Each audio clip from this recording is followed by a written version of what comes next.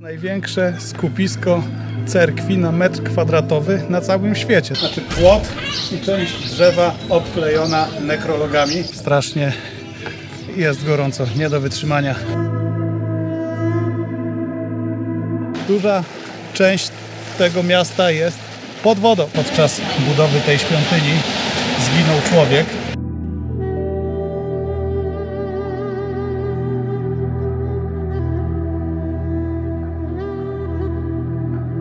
Wspaniała architektura, wąskie klimatyczne uliczki.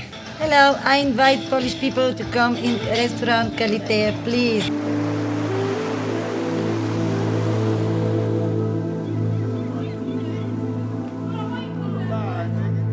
Jest tutaj klimatycznie, tak jakby ktoś kręcił film, jakby to była scenografia filmu jakiegoś średniowiecznego.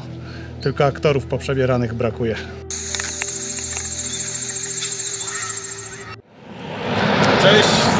Paweł. Patryk.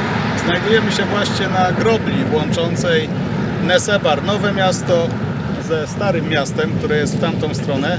I w dzisiejszym odcinku pokażemy Wam nasz pomysł na jednodniowe zwiedzanie Starego Miasta Nesebar, inaczej zwanego Perłą Morza Czarnego, czy też miastem 40 cerkwi. Zapraszamy!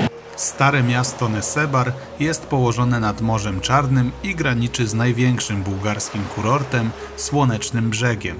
Nesebar powstał około 3000 lat temu, kiedy to Trakowie założyli tu osadę zwaną Melsambria.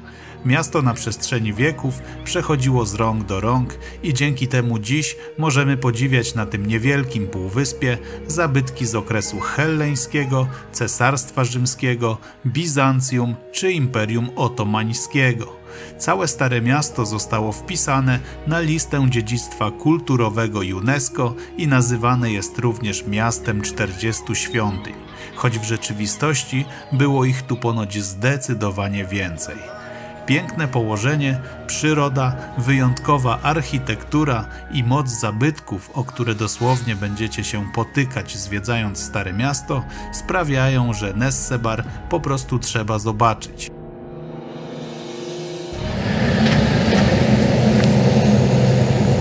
Nesebar, Stare Miasto, zaczyna się już tutaj przy tym drewnianym wiatraku z XVIII wieku, który jest symbolem Nesebaru. Znajduje się on już na tej grobli łączącej Nowe Miasto ze Starym Miastem. I mogę Wam powiedzieć więcej, że kiedyś Nesebar, Stare Miasto, to była odrębna wyspa, a dopiero nie tak dawno temu została połączona z Nowym Miastem.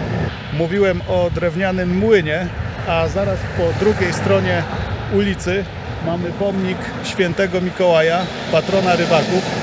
W jednej ręce trzyma on krzyż, a w drugiej wypuszcza gołębia, jako zapewne symbol Ducha Świętego.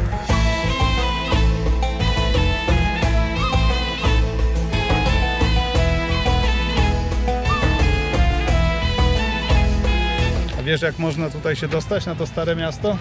Jakie są sposoby? Z buta można iść albo samochodem, nie. Można dojść... Albo iść plażą z buta. Można dojść plażą z buta, tak kiedyś zresztą szliśmy, dwa lata temu. I zajmuje to około 40 minut, taki spacer. 40 minut licząc mniej więcej z połowy Słonecznego Brzegu, nie? Tam z rejonów No tak. hotelu Kuban, no bo jak z samego końca, no to dłużej. Można tu dojechać autobusem miejskim, co jest najtańszą opcją. Można dojechać własnym autem, tak zrobiliśmy w tym roku. Na Starym Mieście są dwa parkingi i nie są to tanie rzeczy. Dwa lewa, godzina. Zwiedzanie no to około 5 godzin Wam powinno zająć. Można też tutaj dopłynąć łódką, nawet z miejscowości Święty Włas, który jest dokładnie po drugiej stronie. Pewnie tego wszystkiego nie widać, ale tam jest Święty Włas, więc pływacie tutaj łódką. E, oczywiście ze Słonecznego Brzegu też można dopłynąć łódką, nie tylko ze Świętego Własa. E, poza tym jest jeszcze opcja, jeździ tutaj taka ciuchcia, kolejka. Tą kolejką też można tutaj przyjechać. Nie wiem ile tu to kosztuje, ale taka średnia ta atrakcja. Kto pamięta statek piracki z naszego pierwszego filmu ze Słonecznego Brzegu sprzed dwóch lat? Właśnie tutaj zacumował. A w pierwszym filmie pokazywaliśmy go w miejscowości Święty Włas, w największym, najwspanialszym porcie jachtowym w Bułgarii, Marina Dinevi. A dzisiaj jest tutaj.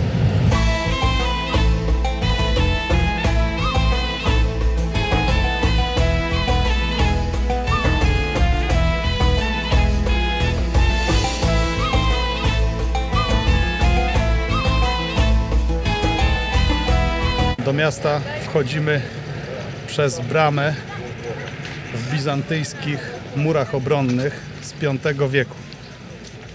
Już właśnie jesteśmy w środku i zaraz po przekroczeniu tej bramy i wejściu na Stare Miasto po prawej stronie mamy Muzeum Archeologiczne, które jest bardzo ciekawym podobno miejscem do zwiedzenia.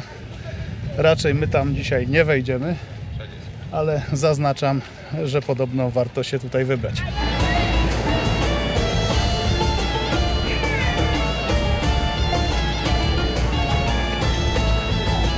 Z dawnych murów obronnych został tylko fragment przy wejściu, ale kiedyś miasto było w całości otoczone takim murem. Trakowie, którzy założyli pod koniec epoki brązu dzisiejszy Nessebar, trudnili się głównie rybołówstwem i hodowlą. Dopiero gdy miasto stało się grecką kolonią, nastąpił okres jego szybkiego rozwoju, głównie z uwagi na kwitnący handel między Mesambrią a innymi miastami. Trakowie, czyli lud, który założył Nesebar, był to lud indoeuropejski, zamieszkujący prawdopodobnie wschodnią część Bałkanów. I co możemy ciekawego o nich powiedzieć, to pierwsze wzmianki o Trakach były już w Iliadzie Homera, a taką ciekawostką jest to, że gladiator Spartacus, którego pewnie większość z Was zna, prawdopodobnie był Trakiem. I na terenie dzisiejszej Bułgarii odnaleziono około 60 tysięcy trackich grobów. To w ramach ciekawostek. My przeszliśmy bramą przez takie już tutaj pierwsze restauracje, stragany i sklepiki. Taki mały ryneczek można to nazwać i kierujemy się uliczką w prawo, bo jest rozgałęzienie lewa albo prawa. My zwiedzanie zaczynamy od prawej strony, czyli od tej strony, przy której jest port.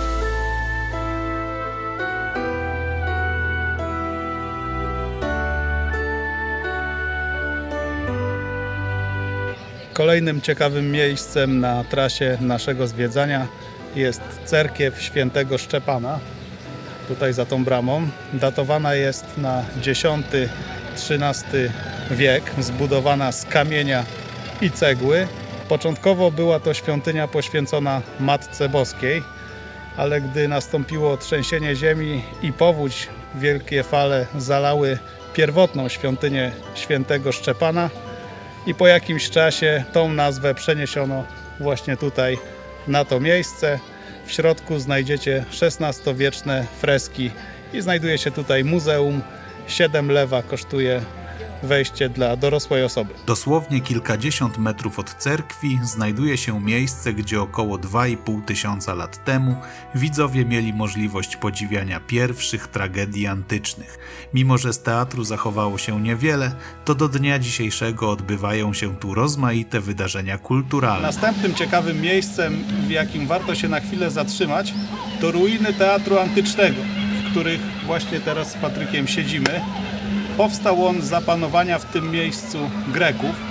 Jest to niestety już w dużej mierze w tym momencie tylko rekonstrukcja, ale do dnia dzisiejszego odbywają się tutaj wszystkie wydarzenia kulturalne Starego Miasta.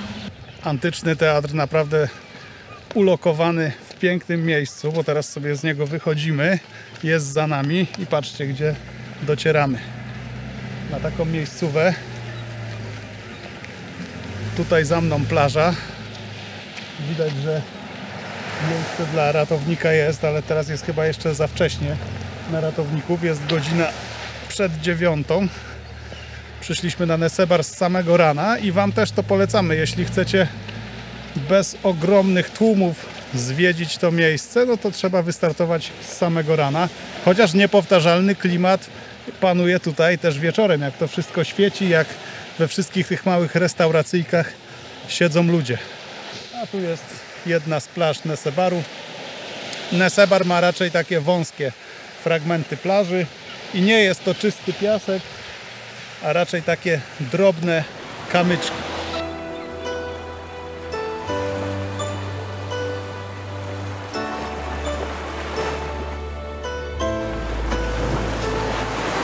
Zdecydowanie wspaniały jest tu klimat. Z plaży kierujemy się kilkadziesiąt metrów pod górę i trafiamy na dobrze zachowane ruiny cerkwi Jana Aliturgetosa z XIV wieku. Według legendy podczas budowy tej świątyni zginął człowiek, a ówczesne prawo zabraniało poświęcania miejsc, w których ktoś zginął. Dlatego w tej świątyni nie odbyło się nigdy żadne nabożeństwo, a aliturgetos to znaczy niepoświęcony. Tak jak już Wam mówiłem, Nesebar przez wieki przechodził z rąk do rąk. Także zabytki architektoniczne, jakie oglądamy na tym niewielkim terenie, to mieszanka kultur. I to całkiem wybuchowa mieszanka, bo miasto na przestrzeni wieków było pod władaniem Traków, Greków, Rzymian, Bizancjum, Słowian, którzy w 812 roku nadają mu dzisiejszą nazwę Nessebar, Bułgarów i Imperium Otomańskiego. Te charakterystyczne budynki, które tutaj widzimy, czyli na dole kamień, na górze mamy deski pomalowane na czarno i czerwone dachówki. To jest charakterystyczny styl dla budownictwa bułgarskiego z przełomu XVIII i XIX wieku.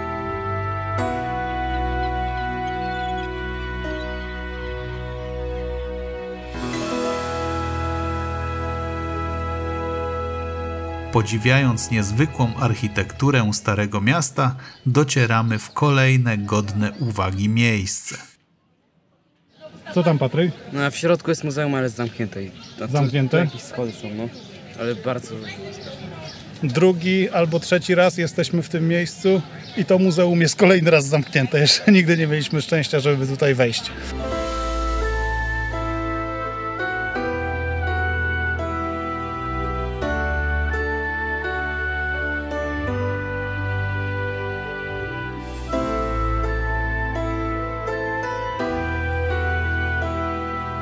Znajdujemy się teraz pod najlepiej zachowaną świątynią w Nesebarze. Jest to świątynia Chrystusa Pantokratora. Charakterystyczne miejsce, dużo ludzi się tutaj zatrzymuje, robi sobie fotki.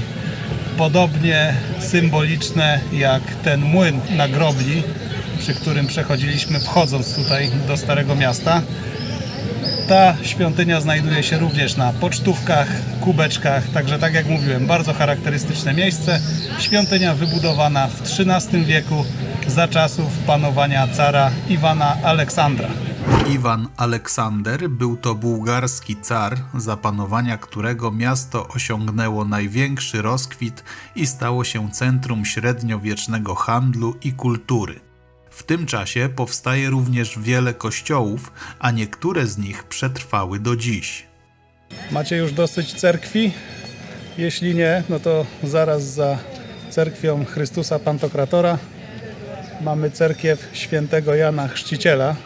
Ona jest akurat z X wieku i co jest ciekawe, to obok niej wystawione są fragmenty greckich kolumn, a wewnątrz znajduje się muzeum. Zaraz zobaczę, jakie tam są ceny. Jeśli już jesteśmy przy cenach, to trzeba wspomnieć, że Nessebar Stare Miasto w wielu miejscach wygląda jak bazar, gdzie stragany z tandetą przeplatają się z tymi, na których kupicie oryginalne, ręcznie robione bułgarskie pamiątki. pomiędzy uliczkami, pomiędzy budynkami o charakterystycznym bułgarskim stylu.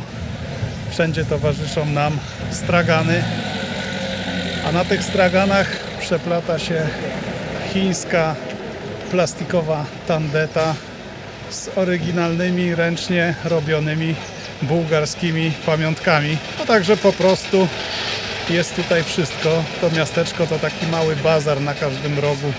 Możecie coś kupić. Proszę bardzo, od jakichś pluszaczków, piórek, pistoletów, portfeli, biżuterii wszelkiego rodzaju.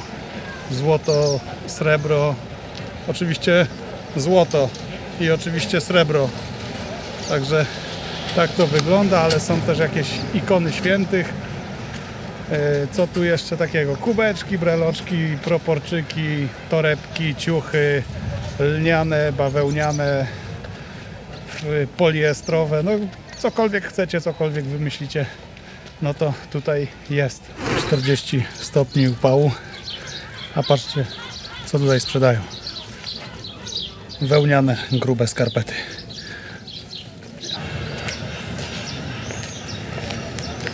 Jako, że tutejsze cerkwie stoją praktycznie jedna na drugiej, to zaraz obok cerkwi świętego Jana Chrzciciela mamy malutką cerkiew świętego Spasa z XVI wieku, czyli było to wybudowane w czasach panowania tutaj Turków. A co ciekawe, to przy tej cerkwi znajdują się bizantyjskie termy wybudowane w VI wieku.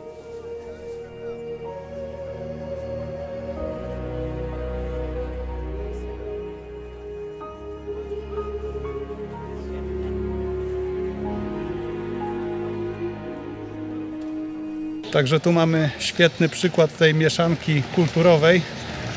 Cerkiew z czasów panowania Imperium Otomańskiego, a zaraz przy niej, tutaj za płotkiem, termy z czasów Imperium Bizantyjskiego.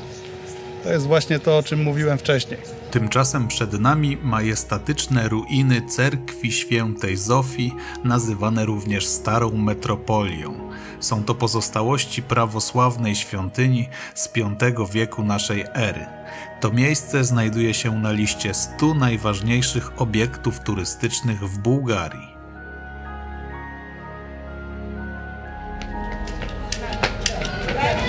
Znajdujemy się teraz na terenie największej i najstarszej świątyni w Nesebarze. Jest to świątynia świętej Zofii. Datuje się ją na V-VI wiek. Charakterystyczne jest to, że ma trzy nawy, jest to nawet fajnie zachowane i nie ma dachu. Na pewno przykuje Waszą uwagę, bo kolejne takie mainstreamowe miejsce, bardzo dużo turystów, dużo ludzi robiących sobie zdjęcia wszędzie tutaj naokoło przesiadujących. Nie ominiecie na pewno, ale warto wejść i zobaczyć.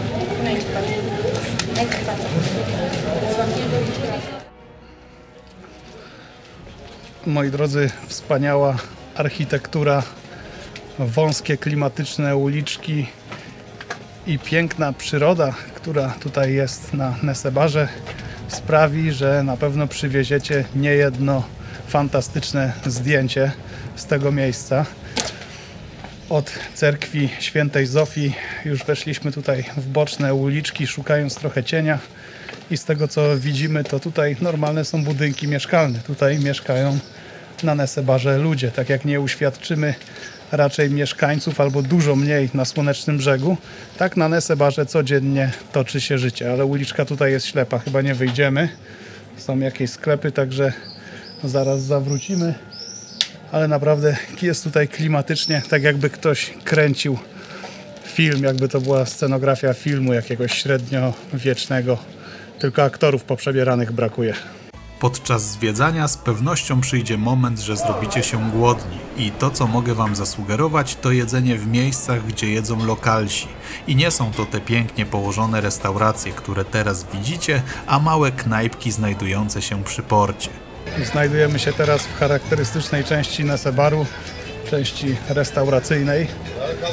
I restauracje są wszędzie, ale tu jest akurat taka bardzo malownicza część, która znajduje się na górze, a na dole pod nami jest morze, no i plaże. Tam też można sobie trochę poplażować. Bardzo klimatyczne miejsce. Jedliśmy tutaj dwa lata temu ale co wtedy nas tutaj troszeczkę zaskoczyło i zniesmaczyło, to to, że najpierw nam powiedzieli, że można płacić kartą, a później gościu mówi, że nie działa terminal, tak?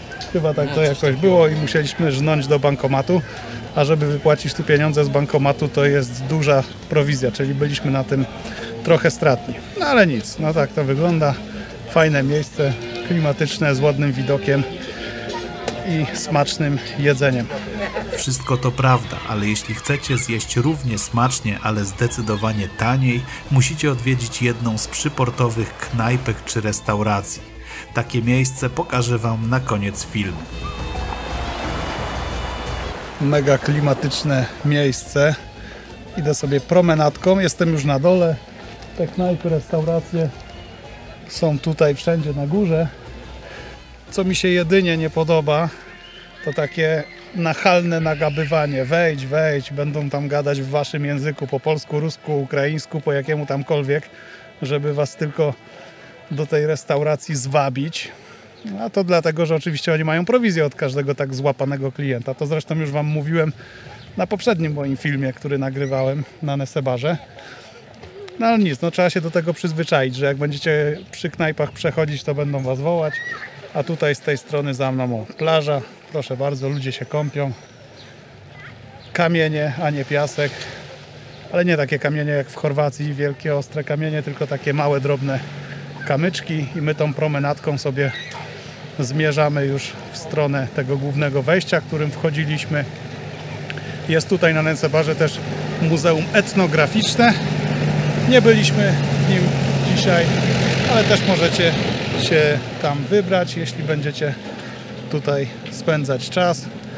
My się przespacerujemy promenadą. Można się na- nacieszyć widokiem pełnego morza, a w drugą stronę patrząc widokiem całego słonecznego brzegu. Także idziemy. Spacerując wzdłuż promenady, co chwilę mamy takie zejścia na takie jakieś betonowe płyty, które wchodzą już nieco w morze. Można sobie podejść, schłodzić się trochę, chociaż daje to coś czy nic? Nie. No właśnie, nie, niewiele to daje, jest strasznie gorąco. Bierzcie pod uwagę, jak będziecie się tu wybierać, jakaś czapka na głowę, dużo wody, bo spacerowania po Nesebarze będziecie mieć około 4-5 godzin. Także na pewno będzie Wam gorąco i żebyście się nie przegrzali. Trzeba uważać. A zeszliśmy tutaj z tej promenady dlatego, że dużo większa część niż to stare miasto, które teraz jest na lądzie, ten półwysep, duża część tego miasta jest pod wodą. Znajduje się pod wodą. Znalazła się tam w wyniku trzęsienia ziemi, no i później powodzi.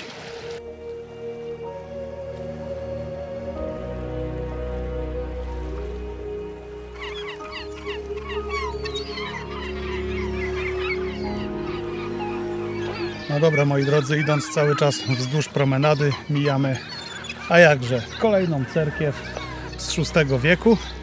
A co tu jest jeszcze ciekawego, to pozostałości młyna się tutaj znajdują.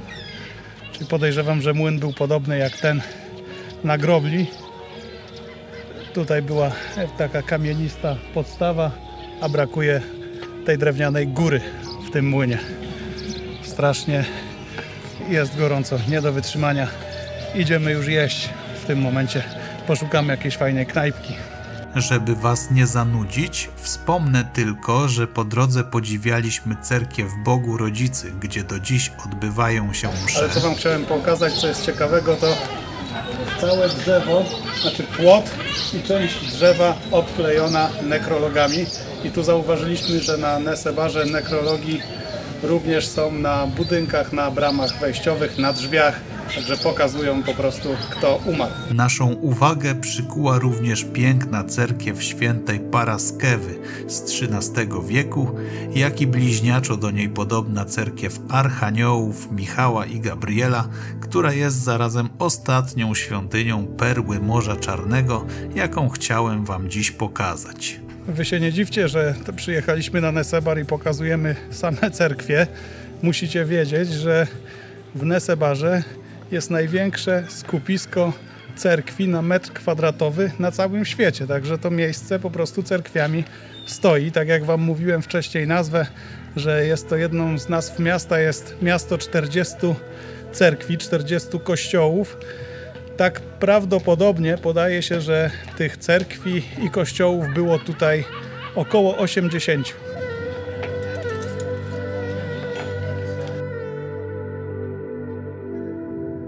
Hello, I invite Polish people to come in restaurant Kalitea, please. The best fish Greek restaurant. Znaleźliśmy fajną knajpkę z miłą obsługą. Jesteśmy w greckiej restauracji, ale również serwują tutaj dania kuchni bułgarskiej. No i znajdujemy się zaraz przy porcie. Obok nas sumują łodzie. Wiaterek delikatnie powiewa, także nie jest tak źle, jak wygląda.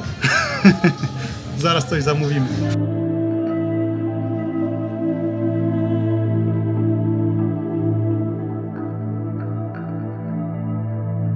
Wzięliśmy zupę rybną, bo w Nesebarze trzeba spróbować zupy rybnej. Już kiedyś tutaj zupę rybną jadłem, akurat nie w tym miejscu, ale nie opodal, bo chyba tutaj zaraz obok. Patryk wziął zupę pomidorową, wzięliśmy też oryginalne greckie, podobno tradycyjne danie, nazywa się musaka. Pani nam tutaj zachwalała, że super. No to zobaczymy tą musakę, jak to wygląda i jak to smakuje. Czekamy. Obsługa bardzo miła, co? Pani nie ma żadnych problemów. Pozwala się nagrywać, także spoko. Pojedliśmy sobie nieźle. Jak? No, fajnie było. Baba W miarę. Wytrzyj sobie brodę, bo chyba jesteś trochę brudny na brodzie. trudno.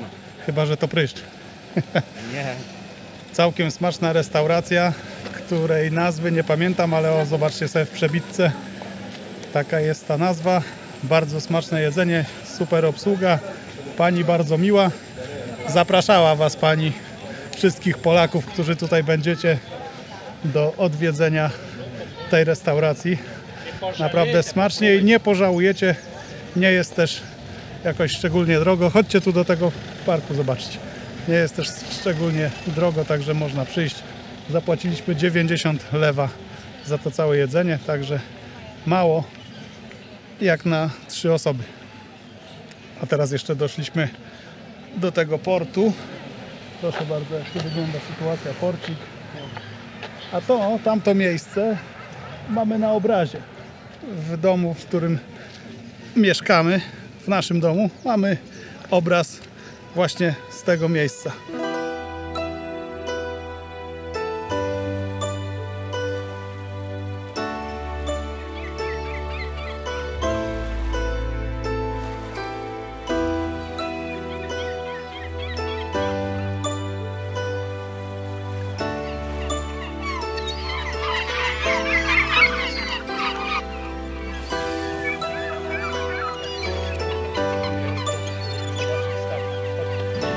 Drodzy, pożegnamy się już z Wami w tym momencie z tej cichej, portowej miejscówki. Jesteśmy najedzeni, jesteśmy usatysfakcjonowani zwiedzaniem i widokami, tak? Patrykowi zaraz jeszcze kupimy tutaj jakiś łańcuszek za 10 lewa. Złoty oczywiście, z, z krzyżykiem. oczywiście to jest takie, wiecie, bułgarskie złoto. Bułgarskie złoto. Ale fajnie wygląda. Zobaczymy przez ile, może przez tydzień. W każdym razie Nesebar Wam polecam. Nagrałem już dwa lata temu film z Nesebaru, teraz mamy nowy film z Nesebaru, który troszkę bardziej, że tak powiem, w którym przyłożyliśmy się do opowiadania o tych zabytkowych cerkwiach, które tutaj są. Na zwiedzanie tego miejsca będziecie potrzebować około 5 godzin. W tym wliczyłem już jakiś posiłek 40 powiedzmy minutowy. Nam tutaj zeszło godzin prawie 6, ale z nagrywaniem to, to tak schodzi. Wy sobie liczcie takie jedno fajne popołudnie, żeby poświęcić na Nesebar, bo naprawdę warto. A my co? Żegnamy się i idziemy po złoty bułgarski łańcuszek. Siema! Czemu 10 zł? 10 lewa, takie złote. Co tu widzieliśmy ciekawego w wodzie? Meduzy i ryby tam były. Teraz meduz w ogóle tu nie widać. Nie, nie widać medus, Ale są ryby. Jest trochę... ale niewiele się zmieniło, co? Nie no, to jest zbudowane. Tego nie było. Wcześniej byliśmy tu, a teraz siedzimy tam.